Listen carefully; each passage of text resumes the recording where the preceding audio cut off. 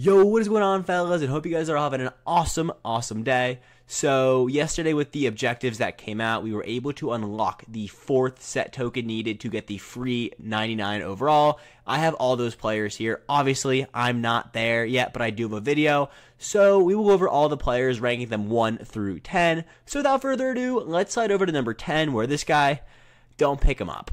So the worst pick you can probably make is this 99 overall weekly wild card Darren Waller. When this card dropped, nobody was impressed. 97 speed is cool on a tight end, but that's about where it ends. Nothing crazy ability wise. And fellas, when you guys open this pack, there are going to be some straight bangers in there Darren Waller is not worth your grind whatsoever. Honestly, it's not worth even being like on your team. Card is not that good. You guys can catch my trend here. The other player that I'm gonna say stay away from, have him a little bit higher than Waller, is the other weekly wildcard LTD in this pack, Stefon Diggs. Same exact argument for Waller. This card came out and nobody was really that impressed. 98 speed is chill, 99 short, 97 medium, 97 deep, all great stats. But again, just nothing really eye popping on the ability side. And again, fellas, Madden is an all ability based game. You've heard me say that all year. We can go check out the discounted abilities, but like 1 AP evasive, so many receivers get this ability for free. Yes, it is the best of receiver ability, but again, so many get them for free, and honestly, you get only get to pick one, so do not waste it on Stefon Diggs. So after Diggs, I have the Ultimate Legend Tiki Barber. He is the only running back available in the pack, I believe. Yeah, only running back available in the pack. So if you need a running back, okay, like, yeah, it's cool, but like, not necessarily worth it because, fellas, Bo Jackson is like under 100k, and I think Bo Jackson is better than Tiki Barber. We can check out the stats really quick though 98 speed, 85 truck, 93 break tackle. It's a really cool card. Again, Nothing crazy on abilities.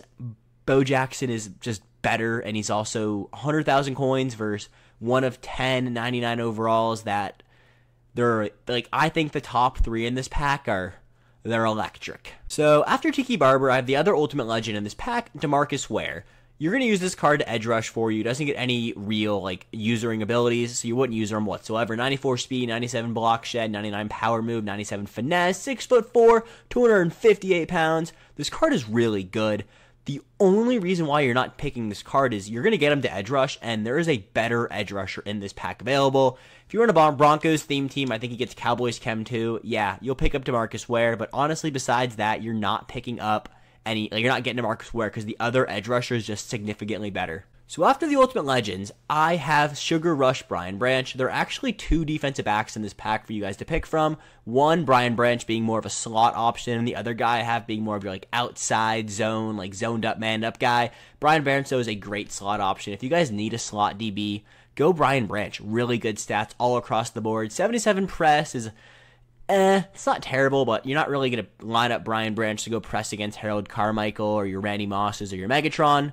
He's playing your slot for you. Great option. I do think there are better slot corners in the game, but for a free 99 overall, hey, Brian Branch is a great option. I will say, as I'm making this video, if you guys run a theme team, pick the card that fits your theme team more importantly than what I'm telling you guys is like the best 1 through 10.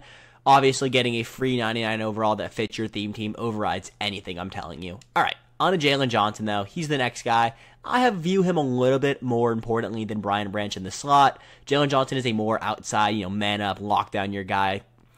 98 speed, 97 man, 98 zone, 97 press. That's really the only reason why he's above Brian Branch. Can play the outside with that 97 press. Brian Branch cannot. Jaylon Johnson can. Six foot, 193 pounds, a little bit small again. That's why I don't have him like as a top tier on this list. I think he's more, you know, your middle of the pack. If you need a defensive back, I prefer Jaylon Johnson over Brian Branch.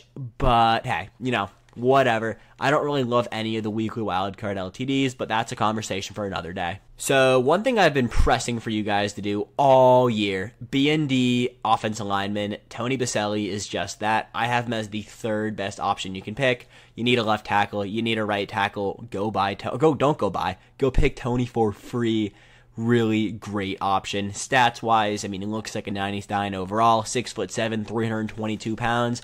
I do not believe he gets free secure protector, which is kind of shit. He gets it for one though, so honestly, it's not the end of the world. Tony Boselli, third best option for sure in this pack. At number two, though, I have the career tribute Aaron Donald. This is why I told you guys if you're going to pick Demarcus Ware, why we have a better edge rusher. Yeah, Aaron Donald is that better edge rusher. 96 speed, 99 block shed. He's got 99s all over the board. I love when I do that and I go, oh wait, this card is just so gross. 99s everywhere. Don't have to read them for you fellas. 6'1, 280 though, really good size. Aaron Donald is just one of those players in Madden that just always plays good. And fellas, this might be my pick, but I am leaning more towards picking number one. We'll go over that though after. Secure Tackler for zero, Enforcer Supreme for one, Double or Nothing for one, Relentless Tribute for zero, and then Edge Threat Elite for one.